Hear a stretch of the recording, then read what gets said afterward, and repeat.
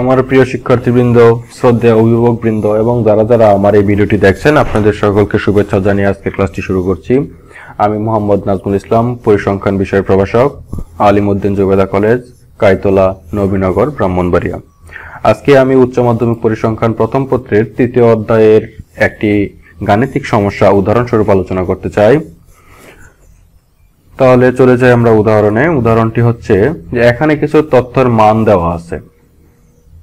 এই তথ্য থেকে আমাদের গাণিতিক গড়, সংক্ষিপ্ত পদ্ধতিতে গাণিতিক গড়, জ্যামিতিক গড়, তরঙ্গ গড়, মধ্যমা, প্রচুরক, চতুর্থক, সপ্তম দশমক এবং ষাটতম শতমক আমরা নির্ণয় করব। অর্থাৎ এই অধ্যায়ে আমরা যে কেন্দ্রীয় মানসমূহের কথা জেনেছি, পড়েছি, সবগুলো মানই আমরা এখানে উদাহরণস্বরূপ বের করব।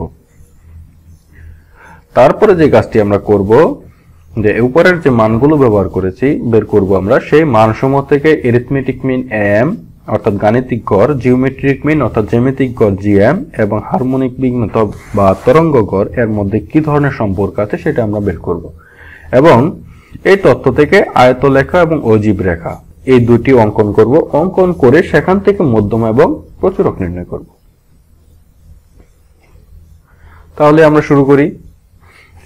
তো এখানে আমরা প্রথমে আসছে গাণিতিক গড় নির্ণয়। তো গাণিতিক গড়ের যে সূত্রটি আমরা জানি, সেটি হচ্ছে যে সামেশন এক্স আই, ও এখানে তো আবার গণসংখ্যা দেওয়া আছে। গণসংখ্যাকে প্রকাশ করা হয় এফ আই দিয়ে। তাহলে আমরা জানি যে গাণিতিক গড় হচ্ছে summation F I X I ভাগ এন। আরেকটা আছে সংক্ষিপ্ত পদ্ধতিতে গাণিতিক গড়। সংক্ষিপ্ত পদ্ধতিতে গাণিতিক গড়টি হচ্ছে যে এখানে তাদের মূল ও মাপুনি পরিবর্তন করে তারপর গড় নির্ণয় করতে হবে। এটাই হচ্ছে সংক্ষিপ্ত পদ্ধতি। আর সেই ক্ষেত্রে জানি আমরা কিছুক্ষণ আগে মানে তার আগের ক্লাসে আমরা দেখেছিলাম যে সর্বশেষ গাণিতিক গড় মূল ও মাপনির উপর নির্ভরশীল। সেখানে সর্বশেষ যে লাইনটি ছিল, তার আগের লাইন ছিল এমন যে এক্স বার সমান A plus C U bar. তাহলে এখানে আমরা ওই সূত্রটি ব্যবহার করে যদি গড় নির্ণয় করি, তাহলে সেটি হচ্ছে সংক্ষিপ্ত পদ্ধতিতে গাণিতিক গড়।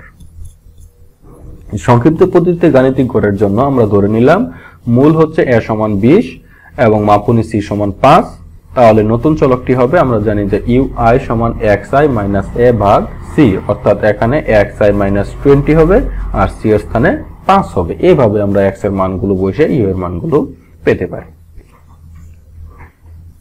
তাহলে এখন আমরা চলে যাই এখানে আমাদের যে মানগুলোর কথা বলা হলো, যে গাণিতিক গড় থেকে শুরু করে ষাটতম শতমক নির্ণয় পর্যন্ত, তার জন্য আমাদের এই সারিটির প্রয়োজন হবে। এই সারিটি ছাড়া আমরা এই সবগুলো মান বের করতে পারব না, তবে পরীক্ষার সময় আমাদের যেটুকু প্রয়োজন সেইটুকু অংশ করব। যদি শুধুমাত্র গাণিতিক গড়ের কথা উল্লেখ থাকে, তাহলে এই পর্যন্ত করব যে এই পর্যন্ত আমাদের গাণিতিক গড়ের কাজ শেষ। আর যদি আমাদের অন্যটার প্রয়োজন হয়, তাহলে ওইটুকু বাদ দিয়ে যেটুকু প্রয়োজন, সেটুকু শুধু পরীক্ষায় আমরা ব্যবহার করব। আমাদের শ্রেণি এবং গণসংখ্যা এই দুইটা আমাদের দেওয়া আছে। তো গণসংখ্যাকে এফ আই দ্বারা প্রকাশ করা হয় ফ্রিকোয়েন্সির প্রথম অক্ষর এফ থেকে। এখন আমাদের এখানে যে আমরা গাণিতিক গড়ের ক্ষেত্রে যে এক্স আই ব্যবহার করি, সেটি হচ্ছে আমাদের শ্রেণির মধ্যমান। শ্রেণির মধ্যমান কীভাবে নির্ণয় করতে হয়? শ্রেণির নিম্নসীমা প্লাস উত্তর সীমা ভাগ দুই। তার মানে শূন্য যোগ পাঁচ ভাগ দুই সমান হচ্ছে টু পয়েন্ট ফাইভ এইভাবে বাকি সবগুলো আমরা নির্ণয় করব। এবার পরের কলামটি আসছে। এফ আই এক্স আই অর্থাৎ ফ্রিকোয়েন্সি গণসংখ্যা গুণ শ্রেণি মধ্যমান তাহলে প্রথমটার জন্য হবে তিন গুণ দুই দশমিক পাঁচ সমান হচ্ছে সাত দশমিক পাঁচ। তারপরটার জন্য হবে আট গুণ সাত দশমিক পাঁচ সমান হচ্ছে ষাট। এইভাবে আমরা সবগুলো মান এখানে নির্ণয় করব। কীভাবে? যে গণসংখ্যা গুণ শ্রেণি মধ্যমান এই গুণফলটা আমরা এই কলামে লিখব। এবার আসছি আমরা নতুন চলকের ক্ষেত্রে। যে সংক্ষিপ্ত পদ্ধতিতে যখন আমরা গড় নির্ণয় করব, তখন আমাদের যে তাদের মূল মাপনী পরিবর্তন করে যে নতুন চলক বের করতে হয়, সেই চলকের মানটা। তো সেখানে আমরা প্রথমে বলেছিলাম যে নতুন চলক হচ্ছে এক্স আই মাইনাস এ ভাগ সি। তো এখন আমরা এই মানগুলো বসিয়ে দিব। এর মান ধরেছিলাম আমরা বিশ, আর সি এর মান ধরে নিয়েছিলাম পাঁচ। এই মানটি এখানে বসিয়ে দিব। আর এখানে এক্স আই এর মানটা হচ্ছে এই শ্রেণি মধ্যমান। তাহলে এক্স আই অর্থাৎ টু পয়েন্ট ফাইভ প্রথমটার জন্য two point five minus twenty ভাগ ফাইভ এই মানটা আমরা ক্যালকুলেশন করে আমরা পেয়ে গেলাম মাইনাস থ্রি পয়েন্ট ফাইভ তার দ্বিতীয়টার জন্য হবে এক্সের দ্বিতীয় মান, অর্থাৎ seven point five seven point five minus twenty ভাগ ফাইভ পেয়ে গেলাম minus twenty two point five এইভাবে আমরা সবগুলো মান নির্ণয় করব। এখানে আমরা ইউ এর মানটা পেয়ে গেলাম। তো আমাদের যেহেতু সংক্ষিপ্ত পদ্ধতি গাণিতিক নির্ণয়ের ক্ষেত্রে এক্স বার সমান হচ্ছে এ প্লাস ইউ বারের প্রয়োজন হয়। তো ইউ বারের জন্য আমরা জানি যে ইউ বার বের করতে গেলে আমাদের summation F I U I ভাগ এন লাগবে। এই কারণে আমাদের এফ আই ইউ আইটাও নির্ণয় করতে হবে। তো এফ আই এক্স আই এর ক্ষেত্রে আমরা এফ আই এবং শ্রেণি মধ্যমান এই দুইটা সারি গুণ করে এখানে লিখেছিলাম। আর এফ আই ইউ এর ক্ষেত্রে আমরা এখানে গণসংখ্যা এবং নতুন চলকের যে মান আছে, এই মানটা গুণ করে এখানে লিখব। পার্থক্য এটুকুই। তাহলে কি হচ্ছে? তিন গুণ মাইনাস তিন দশমিক পাঁচ, সমান হচ্ছে দশ দশমিক পাঁচ। তারপরটার জন্য কি হবে? তার গণসংখ্যা হচ্ছে আট গুণ, তার মান ইউ এর মান minus two point five minus twenty এভাবে আমরা সবগুলো এখানে গুণ করে লিখব। এবার আসছি আমরা f i log x i এটা হচ্ছে আমাদের প্রয়োজন জ্যামিতিক গড়ের জন্য। জ্যামিতিক গড়ের ব্যবহার সূত্রের মাঝে আমাদের আছে যে f i log x i তো এই কারণে আমাদের f i log x i এর জন্য একটা কলামের প্রয়োজন হবে। তো f i log x i কি করব? ক্যালকুলেটরে গিয়ে এফ আই চাপবো। অর্থাৎ প্রথমটার জন্য তিন লগ এক্স আই অর্থাৎ লগ টু পয়েন্ট ফাইভ চাপ দিব। ইকুয়াল চাপ দিলে আমাদের এই মানটা চলে আসবে, অথবা তার কাছাকাছি কোনো মান আসবে। এইভাবে আমরা সবগুলো মান এখানে লিপিবদ্ধ করব। তারপরে তরঙ্গ করে সূত্রের মাঝে আছে যে আমরা লিখে পড়েছিলাম যে ক্যাপিটাল এন ভাগ summation f i x i এই কারণে আমাদের এখানে এই এফ আই এক্সের কলমটা প্রয়োজন। তো এফ আই এভাবে আমরা কি করব? তিন ভাগ দুই দশমিক পাঁচ। এই হচ্ছে এফ আই এক্স আই তারপর এটার জন্য কি হবে? গণসংখ্যা এফ আই হচ্ছে আট, তার শ্রেণির এক্স আই এর মান হচ্ছে সেভেন পয়েন্ট ফাইভ দিয়ে। আটকে সেভেন পয়েন্ট ফাইভ দিয়ে আমরা ভাগ দিব। এইভাবে সবগুলো মান আমরা এখানে লিপিবদ্ধ করব। তারপরে আসছে কিউমুলেটিভ ফ্রিকোয়েন্সি কিউমুলেটিভ ফ্রিকোয়েন্সি হচ্ছে যে আমাদের যেহেতু এখানে অজীব রেখা অঙ্কন করতে হবে, তার জন্য আমাদের কিউমুলেটিভ ফ্রিকোয়েন্সি প্রয়োজন। তারপরে হচ্ছে মধ্যমা, চতুর্থক, দশমক, শতমক, এই মানগুলোর জন্য আমাদের কিউমুলেটিভ ফ্রিকোয়েন্সিটা প্রয়োজন। তো এই কারণে আমরা এখানে কিউমুলেটিভ ফ্রিকোয়েন্সি বা ক্রমযোজিত গণসংখ্যা বা যোজিত গণসংখ্যা এই সে কলামটা আমাদের প্রয়োজন, তাই এখানে করছি। প্রথমটা ক্রমযোজিত গণসংখ্যা হবে গণসংখ্যা প্রথম শ্রেণির গণসংখ্যা তিন তার সাথে এটি হচ্ছে তার ক্রমযোজিত গণসংখ্যা। আর দ্বিতীয়টি হবে যে এই আট যুগ এই প্রথমটার ক্রমযোজিত গণসংখ্যা। তাহলে আট আর তিন এগারো। তারপর একটা হবে যে এই দশ, তৃতীয় শ্রেণির গণসংখ্যা দশ যুগ হবে তার আগের শ্রেণির ক্রমযোজিত গণসংখ্যা এগারো। তাহলে এগারো আর দশ একুশ। এইভাবে করে আমরা সবগুলো যোগ করে ক্রমযোজিত গণসংখ্যা বের করব সেভেন্টি এইট পর্যন্ত। তারপরে কাজ হচ্ছে আমাদের সবগুলো টোটাল নির্ণয় করা, যোগফল নির্ণয় করা, যে গণসংখ্যার যোগফল কত, এত পেয়ে গেলাম। তারপরে summation f i x i যেহেতু প্রয়োজন, আমাদের তাদের যোগফল প্রয়োজন, তো এই কারণে এখানে যোগ করে এটা লিখব। ইউ এর মানগুলো যোগ করে এখানে লিখলাম এফ আই ইউ এর মান এখানে লিখলাম, এইভাবে সবগুলো আমরা যোগ করে লিখে ফেললাম। তাহলে আমাদের সারণী পূরণ করা শেষ। এখন কাজগুলো সহজ হয়ে গেল, এখন আর পরিশ্রমের কোনো কিছুই নাই। এটাই হচ্ছে সবচেয়ে গুরুত্বপূর্ণ বিষয় এই ক্ষেত্রে। এখন আমরা গাণিতিক গড়, আমরা জানি সূত্র হচ্ছে যে x bar equal summation f i ভাগ এফ আই এক্স আই ভাগ এন তাহলে আমরা এফ আই এক্সের যোগফল আমরা এখানে বের করেছি, সেটা কত ছিল?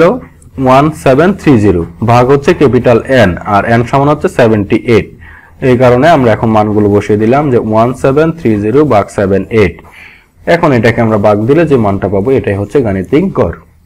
আর সংক্ষিপ্ত পদ্ধতি গাণিতিক গড়ের ক্ষেত্রে আমাদের সূত্রটা হচ্ছে যে x bar equal a plus c u bar তো ইউ বারের মানটা আমরা এখানে বের করিনি। তো ইউ বারের মানটা কিন্তু আমরা জানি যে কি? যে summation f i u i ভাগ এন তো এফ আই ইউ এর মানটা আমরা এখানে যোগ করে লিখে রেখেছিলাম। Summation f i u i এই যে থার্টি ফোর এখন এটা আমরা এখানে বসিয়ে দিলাম। আর এ ক্যাপিটাল এন এর মান সেভেন্টি এইট মোট সংখ্যা এটা আমরা জানি। এর মান বিশ ধরে নিয়েছিলাম এবং সি এর মান ফাইভ ধরে নিয়েছিলাম। এখন এটা ক্যালকুলেশন করলে এই মানটা আমরা পেয়ে যাব। এবার আসছি জ্যামিতিক গড়।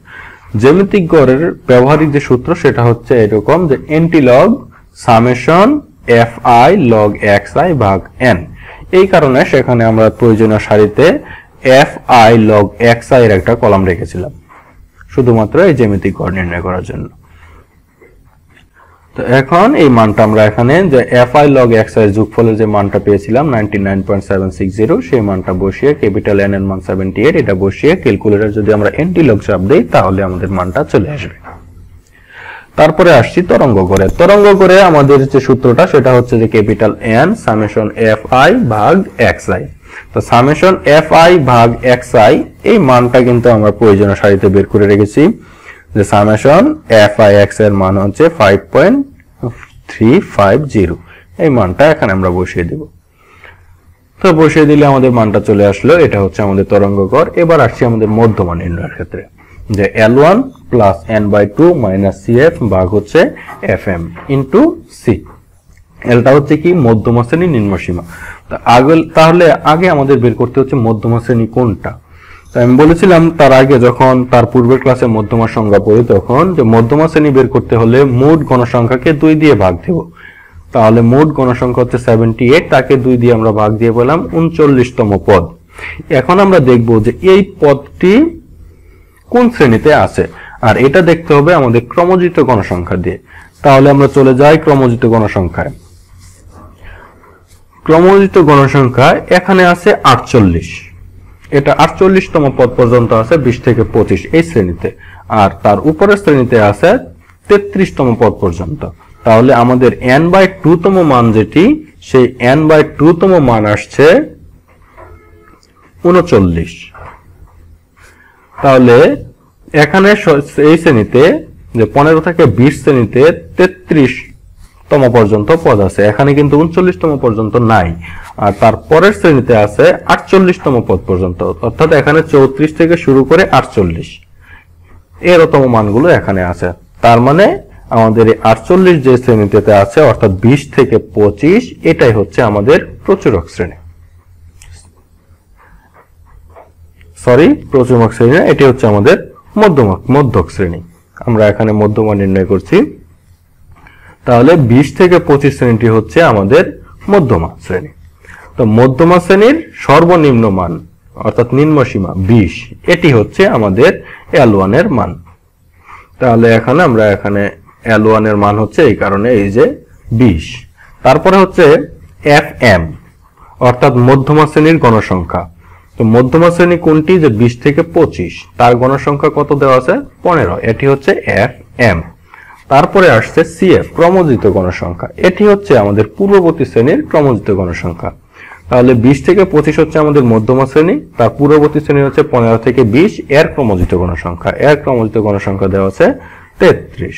তাহলে এর মানটি হবে সিএফ সমান তেত্রিশ, এবং সি হচ্ছে আমাদের শ্রেণি ব্যবধান। এখানে আমাদের যে শ্রেণীটা দেওয়া আছে, এদের ব্যবধান, যে পাঁচ থেকে দশ, এর পার্থক্য কত?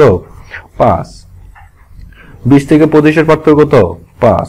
যদি এই ক্ষেত্রে অসম শ্রেণি হয়, তাহলে আমাদের যে মধ্যক শ্রেণীটা থাকবে, এর যে শ্রেণি ব্যবধান, এটি হচ্ছে আমাদের শ্রেণি ব্যবধান হিসেবে গণ্য হবে। আর যদি সবগুলো শ্রেণি একই ব্যবধান হয়, তাহলে তো আর সমস্যা নাই, সবগুলো একই থাকাতে যে কোনোটি নেওয়া যায়। এখানে শ্রেণি ব্যবধান হচ্ছে পাঁচ। তাহলে আমাদের এই সবগুলো মান পেয়ে গেলাম। এখন আমাদের সূত্রের মাঝে এই মানগুলো বসিয়ে দিই। বসিয়ে দিয়ে ক্যালকুলেশন করলে আমরা মধ্যমাটা পেয়ে যাব। মধ্যমা হচ্ছে এখানে টোয়েন্টি টু এবার আসছি প্রচুরকে প্রচুরক হচ্ছে একইভাবে যে l one plus delta one ভাগ delta one plus delta two into c এখানে এল ওয়ানটা হচ্ছে প্রচুরক শ্রেণি। তো আমাদের সর্বপ্রথম প্রচুরক শ্রেণীটা বের করতে হবে। বলেছিলাম এর আগে যে প্রচুরক শ্রেণীটা হচ্ছে আমাদের গণসংখ্যা সবচেয়ে বেশি যে শ্রেণীতে, যে এখানে হচ্ছে পনেরো গণসংখ্যাটা সবচেয়ে বেশি। এটা যে শ্রেণীতে অবস্থান করছে, এটাই হচ্ছে তার প্রচুরক শ্রেণি। অর্থাৎ বিশ থেকে পঁচিশ হচ্ছে তার প্রচুরক শ্রেণি। তাহলে প্রচুরক শ্রেণির সর্বনিম্ন মান বিশ, এটি হচ্ছে এল ওয়ানের মান। এখন এটাই হচ্ছে আমাদের এল ওয়ান সমান হবে তাহলে বিশ। তারপরে ডেল্টা ওয়ান এবং ডেল্টা টু ডেল্টা ওয়ান হচ্ছে যে প্রচুরক শ্রেণি এবং তার পূর্ববর্তী শ্রেণির গণসংখ্যার পার্থক্য এবং ডেল্টা টু হচ্ছে প্রচুরক শ্রেণি এবং তার পরবর্তী শ্রেণির গণসংখ্যার পার্থক্য। তাহলে প্রচুরক শ্রেণির গণসংখ্যা হচ্ছে পনেরো আর তার পূর্ববর্তী শ্রেণির গণসংখ্যা হচ্ছে বারো। আবার ওইদিকে তার নিচের শ্রেণির গণসংখ্যা হচ্ছে এগারো। তাহলে ডেল্টা ওয়ান হবে পনেরো মাইনাস বারো। আর ডেল্টা টু হবে পনেরো মাইনাস এগারো। তাহলে মানগুলো পেয়ে গেলাম। এখন এই মানগুলো আমরা সূত্রে বসিয়ে দিলেই প্রচুরকের মানটা পেয়ে যাব। তারপরে আসছি আমরা চতুর্থ দশমক এবং শতমক নির্ণয়। চতুর্থকের ক্ষেত্রে এখানে কোনো কিছু উল্লেখ নাই, আমাদের তিনটা চতুর্থকে নির্ণয় করতে হবে। একইভাবে আমরা চতুর্থক শ্রেণীগুলো নির্ণয় করব। তাহলে প্রথম চতুর্থকের জন্য আমাদের সূত্রটা হচ্ছে যে কীভাবে চতুর্থক শ্রেণি বের করার জন্য? n ইন্টু আই ভাগ ফোর এটা আমরা এর আগে পড়েছি। তাহলে এখানে ওয়ান অর্থাৎ প্রথম চতুর্থক শ্রেণি নির্ণয় করতে চাচ্ছি। তো এই কারণে n কে ওয়ান দিয়ে গুণ দিলাম। অর্থাৎ n এর মান এখানে সেভেন্টি এইট ইন্টু ওয়ান ভাগ ফোর উনিশ দশমিক পাঁচতম পদ হচ্ছে আমাদের কোন শ্রেণীতে আছে? সেই শ্রেণীটি হচ্ছে আমাদের প্রথম চতুর্থক শ্রেণি। তাহলে খুঁজে বের করি আমরা কিউমুলেটিভ ফ্রিকোয়েন্সি বা ক্রমজিত গণসংখ্যা থেকে যে উনিশ দশমিক পাঁচ কোথায় আছে। উপরেরটাতে আছে এগারো আর এটাতে আছে একুশ। তার মানে উনিশ দশমিক পাঁচতম পদ এটাতেই আছে। অর্থাৎ দশ থেকে পনেরো শ্রেণীতে অবস্থান করছে। তার নিম্নসীমা হচ্ছে কত? দশ। এখন আমরা এখান থেকে মানগুলো বের করব যে এল এর মান হচ্ছে দশ অর্থাৎ নিম্ন সীমা। তারপরে হচ্ছে এফ কিউআই অর্থাৎ যে শ্রেণির প্রথম প্রচুর চতুর্থ শ্রেণির যে গণসংখ্যা আছে, তার মান হচ্ছে এফ কিউ সমান টেন আর সি এফ ক্রমজিত গণসংখ্যা তার পূর্ববর্তী শ্রেণির চতুর্থ শ্রেণির পূর্ববর্তী শ্রেণির ক্রমজিত গণসংখ্যা হচ্ছে এগারো এবং সি অর্থাৎ চতুর্থ শ্রেণি ব্যবধান হচ্ছে পাঁচ। এই মানগুলো এখানে বসালেই আমরা কিউ এর মানগুলো পেয়ে যাব, পেয়ে গেলাম। এবার আমরা বের করছি কিউ টু এর মান। একইভাবে কিউ টু এর জন্য আমরা বের করব যে এন ইন্টু টু যে দ্বিতীয় চতুর্থ শ্রেণির জন্য এন ইন্টু টু ভাগ ফোর অর্থাৎ উনচল্লিশতম পদ। উনচল্লিশতম পদটি কোন শ্রেণীতে অবস্থান করছে? যে শ্রেণীতে অবস্থান করছে, সেই শ্রেণীটি হচ্ছে আমাদের দ্বিতীয় চতুর্থ শ্রেণি। তো এটা আমাদের বিশ থেকে পঁচিশ শ্রেণীতে অবস্থান করছে। এই কারণে এখানে এল সমান টোয়েন্টি এফ কিউ অর্থাৎ গণসংখ্যা পনেরো এবং ক্রমজিত গণসংখ্যা তেত্রিশ। তার পূর্ববর্তী শ্রেণির ক্রমজিত গণসংখ্যা হচ্ছে তেত্রিশ। এই মানগুলো এখানে বসালেই আমরা কিউ2 এর মান পেয়ে যাব। একইভাবে যদি n ইন্টু থ্রি বা ফোরতম পদ যে শ্রেণীতে অবস্থান করছে, সেটি হচ্ছে আমাদের তৃতীয় চতুর্থ শ্রেণি।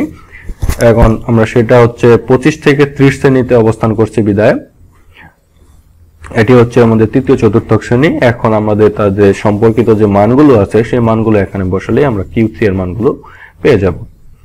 একইভাবে আমাদের সপ্তম দশমক সেক্ষেত্রে শুধুমাত্র এখানে বলেছি সপ্তম, তার মানে আয়ের মান হচ্ছে সাত।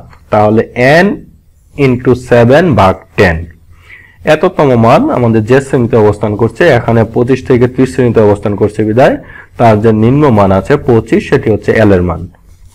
আর এই শ্রেণির যে গণসংখ্যা আছে, সেটি হচ্ছে এফ ডি সেভেন এর মান। এবং পঁচিশ থেকে ত্রিশের আগের যে শ্রেণি আছে, তার ক্রমজিত গণসংখ্যা হচ্ছে আটচল্লিশ, সেই কারণে এটি আর এখানে আমাদের শ্রেণীতে শ্রেণি ব্যবধান হচ্ছে পাঁচ, তাহলে সি সমান হচ্ছে পাঁচ। এখন আমরা যদি ডি সেভেনের সূত্রের মানটি বসিয়ে দেই, তাহলে সপ্তম দশমিকের মানটি পেয়ে যাব।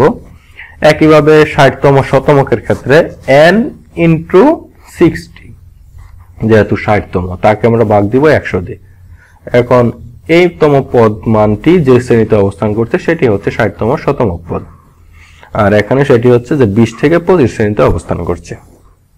এখন এর সাপেক্ষে আমরা এই মানগুলো লিখে ফেললাম যে এল সমান হচ্ছে এই শ্রেণির সর্বনিম্ন মান টোয়েন্টি এবং বিশ থেকে পঁচিশের গণসংখ্যা হচ্ছে পনেরো। বিশ থেকে পঁচিশ শ্রেণির আগের শ্রেণি যেটি আছে, তার ক্রমজিত গণসংখ্যা হচ্ছে তেত্রিশ এবং শ্রেণি ব্যবধান হচ্ছে পাঁচ। এই মানগুলো সূত্রে যদি আমরা বসিয়ে দেই, তাহলে আমাদের ষাটতম শতমক মানটি বেরিয়ে আসবে, সেটি হচ্ছে চব্বিশ দশমিক ছয়। তাহলে আমাদের কেন্দ্রীয় মানগুলো বের করা শেষ। আমাদের ক নম্বর যে প্রশ্নটি ছিল গাণিতিক গড়, জ্যামিতিক গড় এবং তরঙ্গ গড়ের মাঝে সম্পর্ক বের করতে হবে। তো সম্পর্কটি হচ্ছে গাণিতিক গড় বাইশ দশমিক এক সাত নয় পাঁচ, জ্যামিতিক গড় হচ্ছে উনিশ, অর্থাৎ তার চেয়ে ছোট। তরঙ্গ গড় তার চেয়ে ছোট, চোদ্দ দশমিক সাতান্ন। এটি হচ্ছে তাদের সম্পর্ক। তাহলে সম্পর্কটা কি? যে নিম্ন মানসমূহ আমরা যে মানটি গুলাম, তার মাঝে সম্পর্ক হচ্ছে গাণিতিক গড় গ্রেটার দেন জ্যামিতিক গড় গ্রেটার দেন হারমোনিক অর্থাৎ তরঙ্গ গড়, অর্থাৎ একটা চেয়ে আরেকটা ছোট এটাই হচ্ছে এদের মধ্যে সম্পর্ক। তারপরে যে প্রশ্নটি খ নম্বরে ছিল, সেখানে ছিল আমাদের উপরের তথ্য থেকে আয়ত লেখো এবং অজীব রেখা অঙ্কন করে সেখান থেকে প্রচুরক এবং মধ্যমা নির্ণয় করতে। তাহলে আমরা প্রথমে আয়ত লেখটা নির্ণয় করলাম, এখন এখান থেকে আমরা প্রচুরক নির্ণয় করব। তো প্রচুরকের জন্য আমাদের সবচেয়ে যে উঁচু আয়ত লেখটি আছে, এখানে এটি। এই আয়ত লেখের একটি কোণা থেকে তার বিপরীত কোণায় একটি আমরা সরলরেখা অঙ্কন করব, যোগ করব। তাহলে এই কোণা থেকে এই কোণার মাঝে আমরা যোগ করলাম। তারপরে এই কোণা থেকে এই কোণাতে আমরা যোগ করব। তার পাশে যে তার চেয়ে ছোট যে আয়তলেখাটি থাকবে, তার কোণার সাথে আমরা যোগ করব। তো এই দুইটি রেখা নির্দিষ্ট একটা বিন্দুতে সেট করবে, এখানে এই বিন্দুতে সেট করল। এই ছেদবিন্দু থেকে আমাদের যে শ্রেণি আছে, অর্থাৎ এক্স অক্ষ আছে, তার উপর লম্ব টানবো। তো এই লম্ব বিন্দুটি ওয়াই অক্ষকে যে বিন্দুতে সেট করল, এটা হচ্ছে বাইশ দশমিক এক চার দুই আট, এটি হচ্ছে আমাদের প্রচুরক। কারণ এখানে হচ্ছে বিশ আর এটুকু হচ্ছে পঁচিশ। তাহলে এখানে আমরা দেখতেই পাচ্ছি যে এটা প্রায় মাঝামাঝি, অর্থাৎ বাইশ সাড়ে বাইশের কাছাকাছি আছে। তার মানে এটি হচ্ছে আমাদের প্রচুরক। তারপরে আমরা এখন চলে যাচ্ছি অজীব রেখা থেকে কীভাবে মধ্যমা নির্ণয় করতে হয়। আমরা অজীব রেখা নির্ণয় করতে পারি। তো অজীব রেখাটি আমরা এখানে নির্ণয় করলাম। এখন মধ্যমা কাকে বলে? যে মাঝের যে মান, অর্থাৎ এন বাই টু তম মান। তো এখানে এন এর মান ছিল সেভেন্টি এইট অর্থাৎ উনচল্লিশতম যে মানটি আছে, সেটি হচ্ছে আমাদের মধ্যমা। তো এখানে কিউমুলেটিভ ফ্রিকোয়েন্সির সাথে অজীব রেখা যে অঙ্কন করলাম, সেখান থেকে উনচল্লিশ বিন্দু হতে এই অজীব রেখার উপরে আমরা একটি লম্ব টানব অজীব রেখাকে যে বিন্দুতে সেট করল এই লম্বটি সেই বিন্দু থেকে এক অক্ষের উপরে আরেকটি লম্ব টানব। এই লম্ব বিন্দু যে বিন্দুতে সেট করল, সেটি হচ্ছে আমাদের মধ্যমা। তো এখানে আমাদের বাইশ বিন্দুতে সেট করল, এই কারণে আমাদের মধ্যমা হচ্ছে বাইশ। তো প্রিয় শিক্ষার্থীরা, আজকে আমার ক্লাসটি এখানেই শেষ। তোমরা এই ক্লাসটি মনোযোগ সহকারে আবারও দেখবে। তোমাদের যদি কোনো সমস্যা থাকে, কোনো প্রশ্ন থেকে থাকে, তাহলে আমাকে ফেসবুকে কমেন্টের মাধ্যমে জানাতে পারো অথবা আমাকে ইমেল করতে পারো। আমি যথারীতি উত্তর দেওয়ার চেষ্টা করব। আশা করছি তোমরা ক্লাসটি ভালোভাবে খেয়াল করবে। আগামী ক্লাসে আমরা আরও দুইটি উদাহরণ আলোচনা করব, গাণিতিক সমস্যা নিয়ে আলোচনা করব। আগামী ক্লাসে তোমরা সবাই থাকবে। এই আশা ব্যক্ত করে আজকের ক্লাস এখানে শেষ করছি। আসসালামু আলাইকুম রহমতুল্লাহ।